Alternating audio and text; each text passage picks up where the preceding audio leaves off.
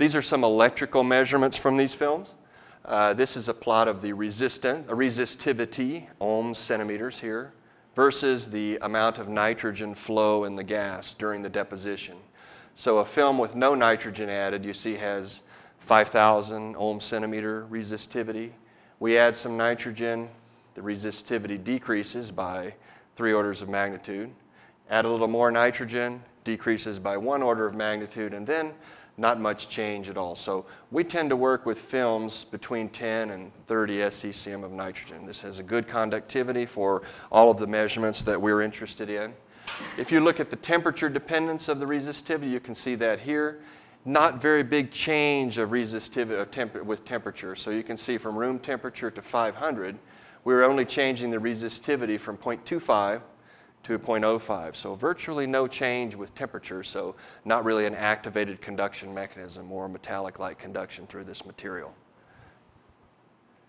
If you do what are called Hall effect measurements to look at how many carriers you have and the mobility of these carriers, it helps us understand about the electrical properties. In this measurement, we'll take the, an insulating silicon substrate put on a SiO2 insulating layer of silicon dioxide, the conducting film, and a two metal contacts. And we measure the electrical properties with the Hall effect system. Here showing again the resistivity as a function of the temperature again. So the blue dots are the very first measurement, and you can see there's a small change, not very much, 04 to 01 ohm centimeters with temperature. And then we do a second one, that's the red dots. So this decrease right here is, is uh, decreasing the contact resistance with the annealing. So very often you see this from the first measurement to the second. But here are the data, again, resistivity, 10 to the minus 2 ohm centimeters, virtually no temperature dependence across that range.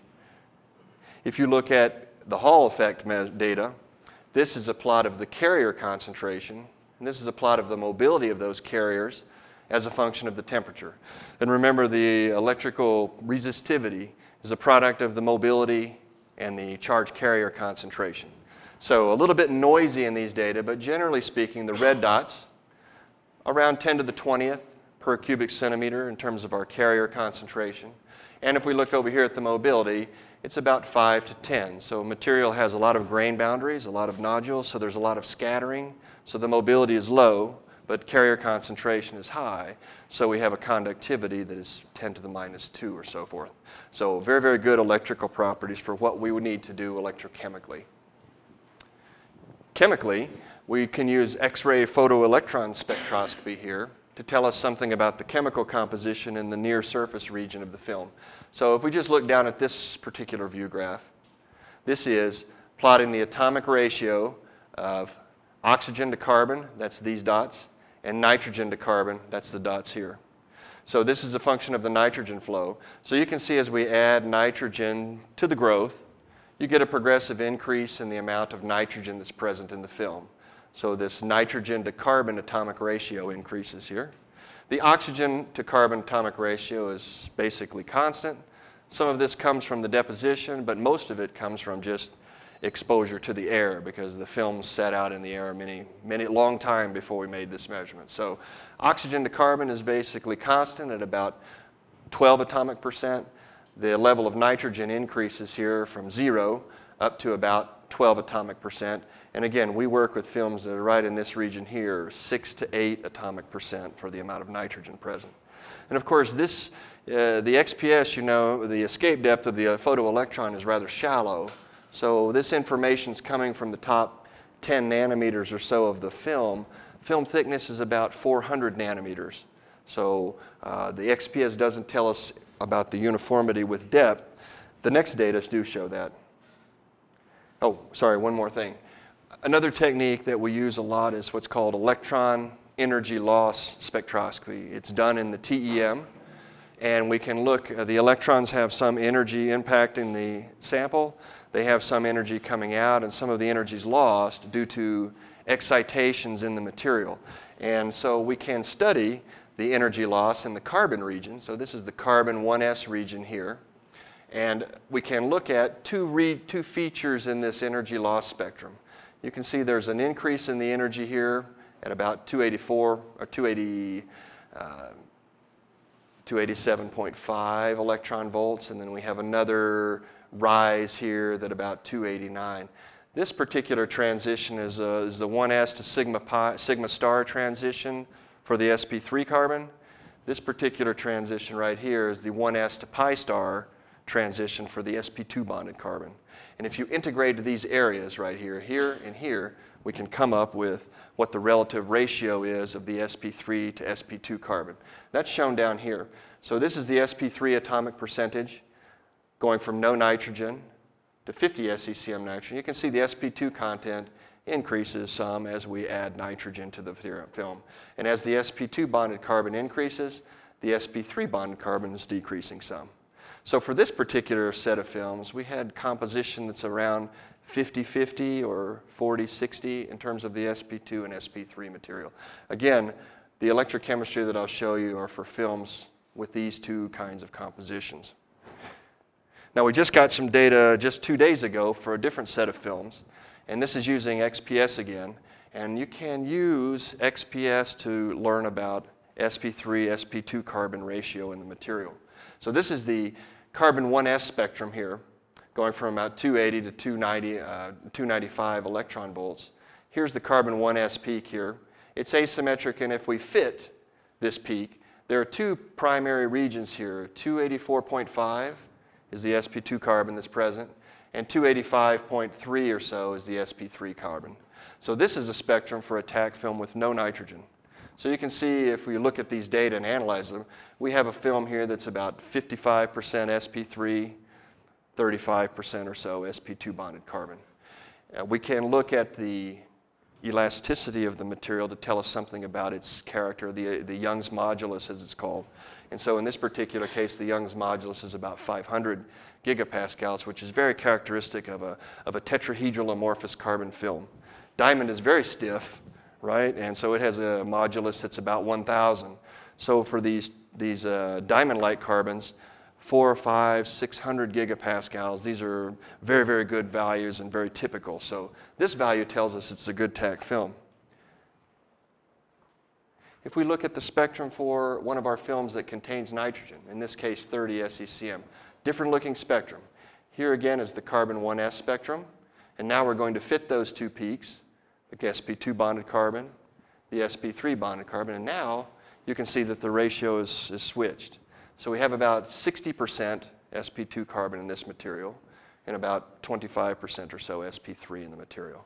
So what we have to do at the present is we have a lot of electrochemical data and not so much characterization data for each of the films. So we're trying to co correlate this ratio with the electron transfer kinetics and so forth. But these films, as you can see, this one has a lot more sp2 carbon than we had originally anticipated. The Young's modulus drops, so about 300 gigapascals. This still is in the regime of a diamond-like carbon, but on the lower end. So this is much more like uh, a carbon nitride film, I think, than a tetrahedral amorphous carbon film, but it's still to be, to be de de determined. The nitrogen in the film is very interesting. So you can look at how this is the nitrogen 1s spectrum from the XPS. And you can deconvolute this spectrum right here to learn about the chemical environments of the nitrogen. So when we add the nitrogen, you wonder how the nitrogen is bonded in the material. So we can actually fit this spectrum right here to three peaks. Two, 398, 399, and this one over here at 401. You can see the intensity is different.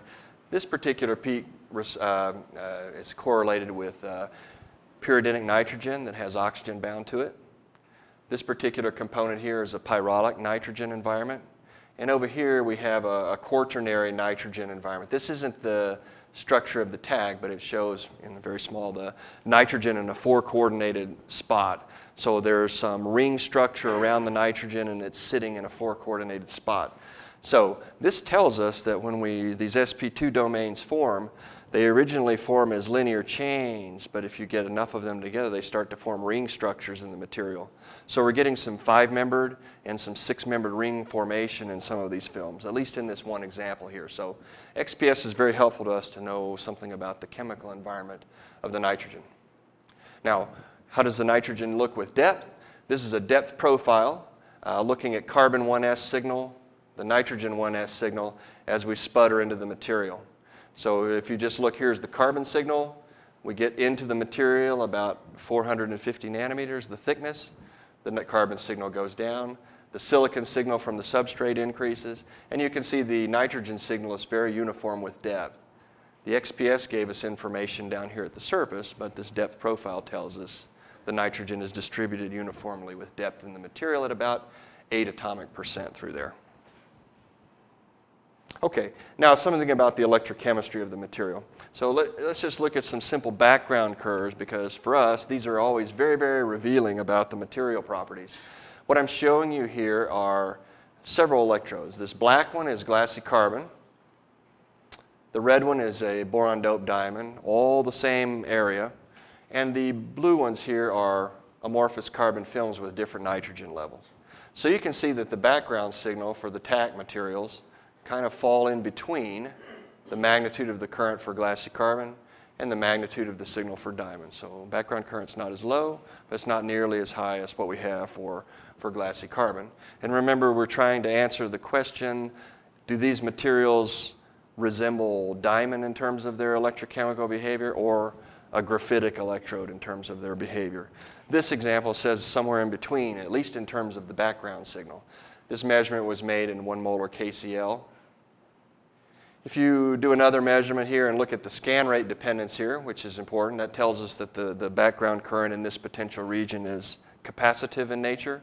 So uh, plotting over here, background signals for the TAC, the black, a piece of glassy carbon, the red, and our diamond film here, the blue. You can see the background signal is, of the TAC is larger than the diamond, but not as large as the GC. And over here we can see that the, all of those currents for all three electrodes increase linearly with the, with the scan rate. They're all capacitive in nature. Slope difference is due to the capacitance value difference between each of the electrodes.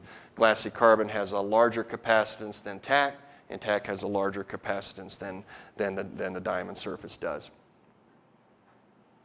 We look at things like the potential window to give us some indication of, of the quality of the material. If you just look at the top voltammogram up here, this again is in, uh, this is now a measurement in, uh, should be uh, sulfuric acid. You can see that our window here is roughly from about 2 volts to about minus 1. So we have about a 3, 3 volt potential window, which is very typical for, for diamond materials. One of the interesting things about this is that you can apply some anodic potentials. You can expose it to some very aggressive solutions, and the microstructure is very stable. So if you do this kind of an experiment, this one or this one, to a piece of glassy carbon, you get very big changes in the response. We see virtually no change. Actually, you can see here before and after, virtually no change in the response there. So again, this is some evidence that this TAC film is behaving more like a diamond electrode than uh, a glassy carbon electrode, for example. Okay, let's look at some redox molecules and, uh, and do some investigation of how active the electrode is. I'll show you a couple of different redox systems here. This one is a ruthenium hexamine. It's a plus three to plus two process, so one electron, no bonding changes around the ruthenium. So it's a very, very simple redox system. We, we, it's not very surface sensitive at all, the kinetics of it. So it's a very good one to use to know if your material is electrically conducting. So if we look for films with no nitrogen, 10 SCCM, 30, and 50, we can look, the, the voltammograms are very well defined. The peak splitting is virtually unchanged. It's 62 millivolts here, almost Nernstian, so very fast. And over here, virtually unchanged at 62 millivolts. So adding nitrogen to the material changes the structure, but doesn't do anything to the kinetics for this particular redox system. So, welcome. So if you want to learn about the material properties, this one isn't really a very good system to use for that. It's not so sensitive to changes in the bonding chemistry of the carbon. We can look at another one. This is a iron 3, iron 2, iron 3, the ferri ferrocyanide couple here. This one is quite a bit more sensitive to the condition of each electrode. Again, I'm showing you data for no nitrogen, 10 SCCM nitrogen, 30, and 50. So each of these films has more nitrogen added to the lattice. And you can see that the peak splitting extra for this system is somewhat sluggish, the kinetics to start with. Increases a little bit, still sluggish, but increases some as we add nitrogen to the film. So this particular redox system is quite sensitive to the chemistry of the material, the electronic properties, as well as the microstructure. And you can do rate constant calculations, which we do. And so the rate constant on this material for this system is 10 to the minus 3, 10 to the minus 2 centimeters per second. So about 10 times slower than what it is on glassy carbon. Ruthenium, on the other hand, tends to have rate constants about 0.05 to 0.1, which is basically the same value as you get for well-conditioned glassy carbon.